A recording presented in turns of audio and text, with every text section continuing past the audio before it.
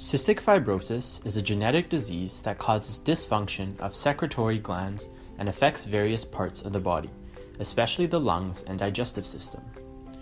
Typically, mucus produced by the body is watery, but in cystic fibrosis, the mucus is thick, which causes it to accumulate and block airways.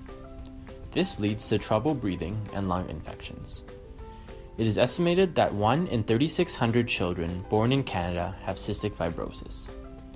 This is an autosomal recessive disease, meaning that both parents must carry the gene responsible in order for their child to have the disease.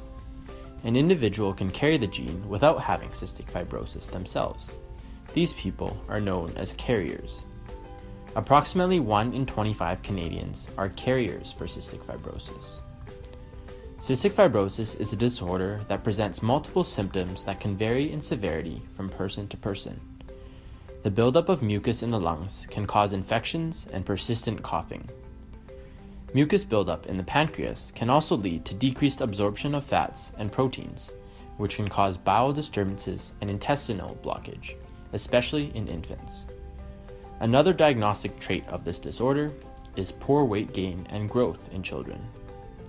In adults, men with cystic fibrosis are infertile, while women faced a decreased fertility. Individuals living with cystic fibrosis must receive ongoing medical care in order to manage their disease. Patients must be proactive and receive checkups every three months. They must continually take prescribed medication and make lifestyle changes such as maintaining a good diet, continually washing their hands to lower risk of infection, drinking lots of fluids, and exercising regularly. In addition, doctors highly recommend chest physical therapy. This is an airway clearance technique which drains the lungs using various techniques such as percussion, vibration, deep breathing, or coughing. When medical management can no longer maintain lung health and function, transplantation may be the next step to improve the length and quality of life of patients with cystic fibrosis. Researchers have found that 67% of Canadians undergoing lung transplants for cystic fibrosis live at least 5 years post surgery, and 50% live at least 10 years. Newly transplanted lungs offer a better prognosis for cystic fibrosis, as patients no longer produce mucus, cough, or require chest physical therapy or inhaled antibiotics. Currently, five Canadian institutions located in Vancouver, Edmonton, Winnipeg, Toronto, and Montreal have lung transplant programs for patients with cystic fibrosis. However, despite these new programs and research, lung transplants do not offer a cure, since individuals still possess the cystic fibrosis gene. So, what happens after getting a lung transplant? The early postoperative period is a crucial time for all lung transplant patients, especially those with cystic fibrosis. Immediately after surgery, patients are placed in the intensive care unit of the hospital, intubated, and monitored carefully until their lungs are capable of functioning by themselves. As with all transplant surgeries, patients are given immunosuppressants to reduce the risk of organ rejection. However, this places patients at a high risk for infection in the early postoperative period.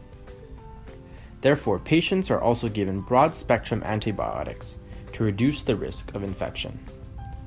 Once patients are capable of breathing on their own they must begin physiotherapy to strengthen both their musculoskeletal and cardiovascular systems. After being discharged, lung transplant recipients must follow a strict follow up schedule, which includes blood work and breathing tests. In addition, they are given home spirometry exercises to self monitor their lung function.